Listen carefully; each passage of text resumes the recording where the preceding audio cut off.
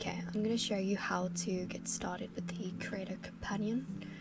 Um, you need to go onto the VRChat website, you need to go to download, and you need to go to download the Creator Companion. Here it's going to download, and once it's downloaded, you're going to have something like this. Right, make sure you go to your projects, and then you're going to go to create new project. I'll be creating a world, so I'm going to do a free world project. Going to name your project, name it um, project, then click create project. It's gonna just compile everything and you just gotta wait. Okay, so this is the important bit. Um, so what this create companion does is that it imports all the SDK and the uh, UdonSharp with all the rest of the stuff that you might need to create a world. Um, in right now, like the UdonSharp is not installed, so I'm gonna press the plus.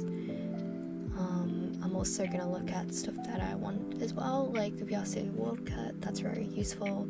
I'll click on that. Um,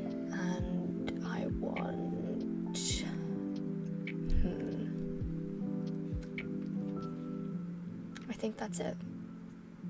Um, the Gesture Manager, I think it's for avatars, and I also think um, this. Wait, no.